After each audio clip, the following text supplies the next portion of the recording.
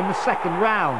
Having set a club record of nine league wins in a row, Notts were sunk by goals from Glen Little and Andy Cooke. Notts manager Sam Allardyce insisted he wanted to make progress in the Cup, but only five of those who started their last league match were in the starting lineup last night. Mansfield were at Preston, where Kurt Nogan's first goal